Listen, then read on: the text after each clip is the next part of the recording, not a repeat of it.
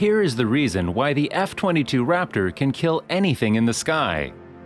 With Russia and China deploying advanced new fighters and surface-to-air missiles SAM, the task of gaining and maintaining air superiority over an increasingly more lethal battle space falls to a small and elite group of U.S. Air Force pilots flying the mighty Lockheed Martin F-22 Raptor. Conceived during the waning years of the Cold War, the stealthy, high-flying, supersonically cruising Raptor was designed to defeat the most fearsome weapons the Soviet Union could hurl at the United States and NATO during the Third World War in Europe. However, with the end of the Cold War and the subsequent 1991 collapse of the Soviet Union, the F-22 was left without a mission, or so it was thought. Indeed, the second Bush and Obama administrations canceled the F-22 program in 2008 after only 195 aircraft, 187 production planes, were ordered because they made the assumption that high-end state-on-state conflicts were a relic of the past.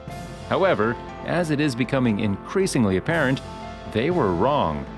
Indeed, even after the collapse of the Soviet Union, Russia protected the best of its military-industrial capabilities as much as it could during the economic and social meltdown of the 1990s. Despite its severe problems, Russia managed to develop and field advanced weapon systems such as the Su-35S Flanker E, S-300V4, and S-400, among others.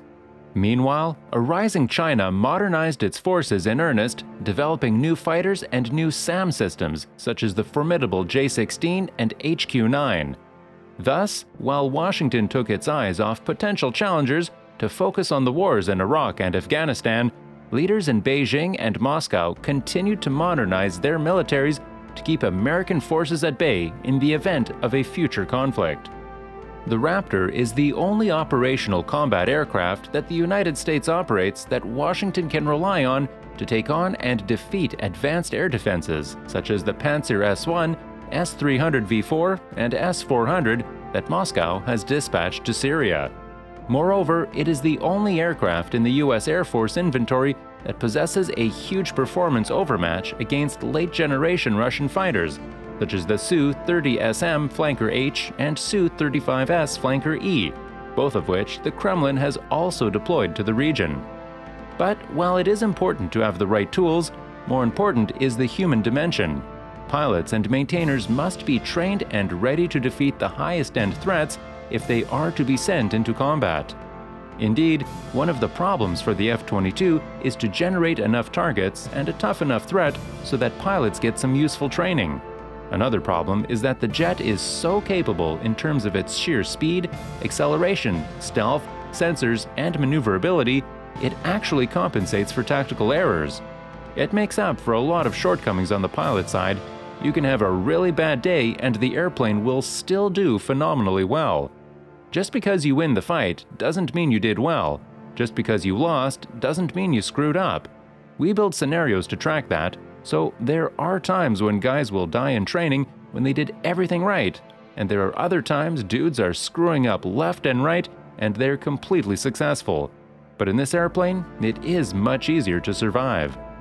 In order to train pilots for the exercise, the first fighter wing uses a combination of T-38 trainers and other F-22s to act as Red Air, replicating advanced flanker-level threats.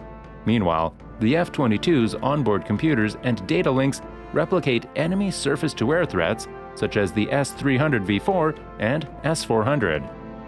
Because the jet is so capable and the pilots are the elite of the elite, the Red Air has to effectively overwhelm the Raptors with sheer numbers.